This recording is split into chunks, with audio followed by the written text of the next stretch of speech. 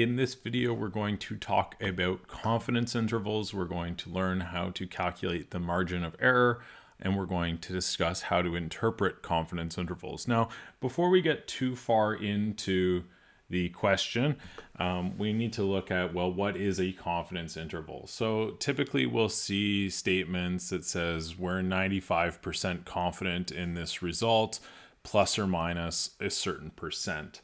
And really, what this means is that the analyst is saying we are 95% confident that the true proportion lies in our specified inter- interval. So you're going to have some estimate plus or minus some margin of error. So the margin of error is the extent of the interval on either side of the proportion of your sample is called the margin of error. And this will make sense in a second. So let's first talk about what is this how do we calculate the confidence interval? So when we're looking at our confidence interval we have a basic equation that looks like this. It's um, our estimate plus or minus our me otherwise known as our margin of error. And to calculate our margin of error all we're going to use is the following equation. That is z star times the square root of the proportion of our sample minus q of our sample divided by n. and remember that um, this is effectively the standard error of the proportion of our sample is equal to the square root of p hat times q hat divided by n, right? We'll recall that from other videos where we looked at um, standard error. Z star, on the other hand, is our critical value of Z, and this will be a constant. And this critical value of Z is determined by the percent of confidence that we're putting in our confidence interval. And hopefully, after a few minutes and working through a few examples, this will make a little bit more sense to you. So let's go ahead and dive into our first question. So suppose we surveyed a thousand adult Canadians about reform to the Canadian Football League, that's the CFL, and 34% answered yes to the question, do you support merging the CFL with the NFL? Then we're asked to construct a 95% confidence interval for the proportion. So let's break this question down into a few steps so we know what the proportion of our sample is. Our p hat is equal to 0.34, right? That's given to us in our question. By default, then, we know that q hat is equal to 1 minus p hat. So this is equal to 1 minus 0.34, which is equal to 0.66. We also know our sample size, n, is equal to 1,000. Right?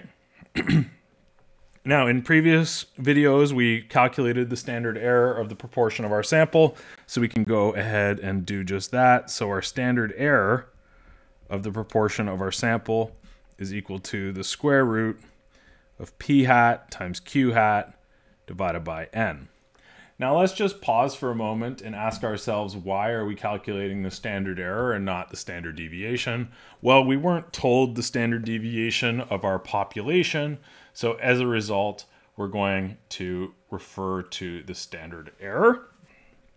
So we just, we can make this a little bit bigger, is equal to the square root of 0.34 times 0.64 divided by our sample size, which is 1,000.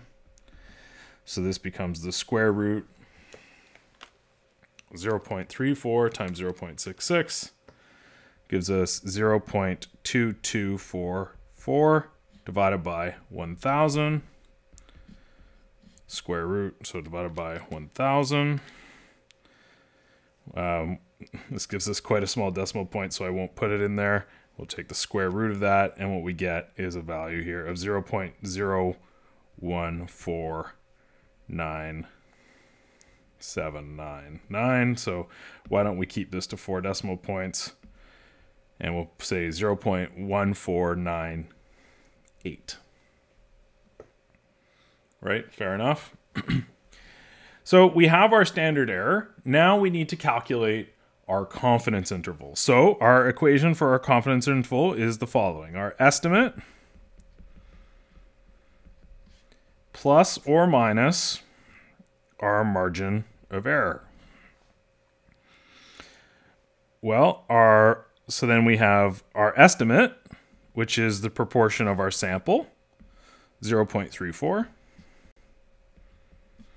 plus or minus z star times the standard error of the proportion of our sample.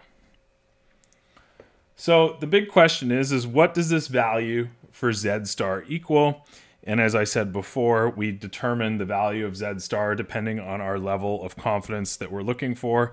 In this case, we're looking for a 95% confidence interval. Now, let's just pause for a second and think about can we use a normal distribution here? So we can check our assumptions and our conditions. We remember doing this in other types of questions.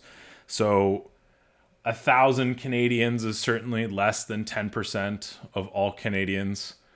Our success and failure, so our n times p, n times p greater than or equal to 10. Well, yes n times q greater than or equal to 10? Yes.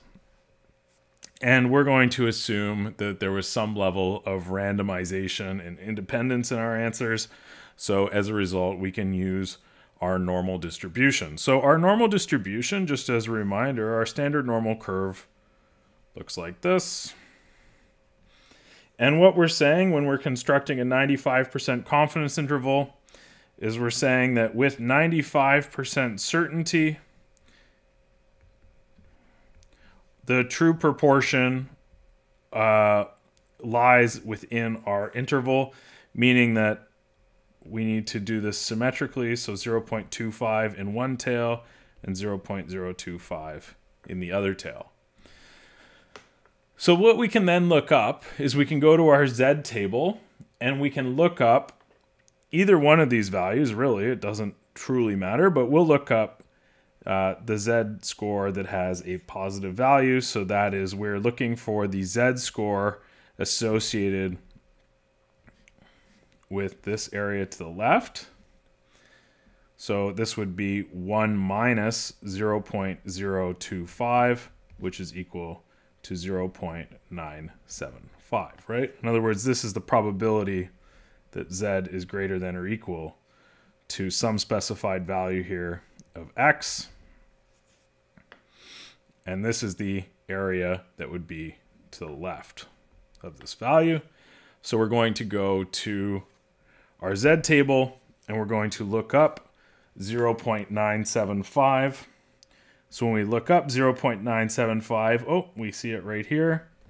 And what do we get? Whoops.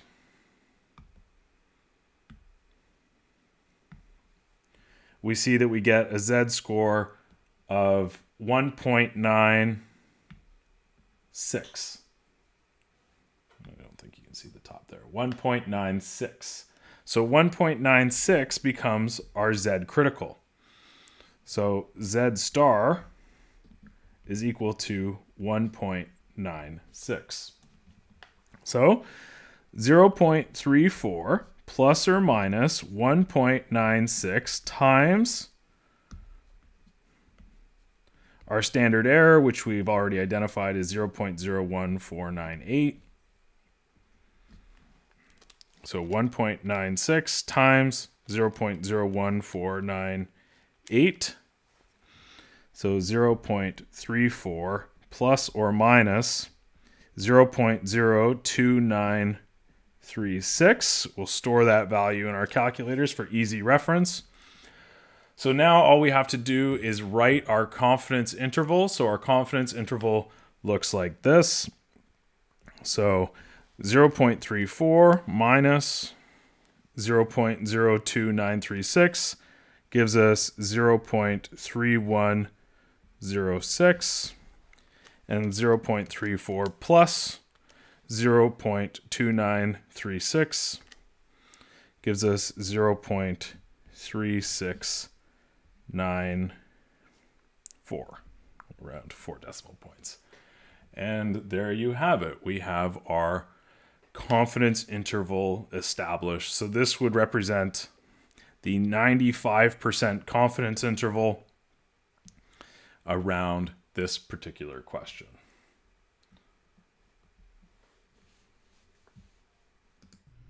That's it for this video, but if you found that it helped make statistics easy, consider showing your support by giving the video a like. And if you still need more help with statistics, then consider subscribing to the channel if you haven't already. I look forward to solving many more problems with you next time.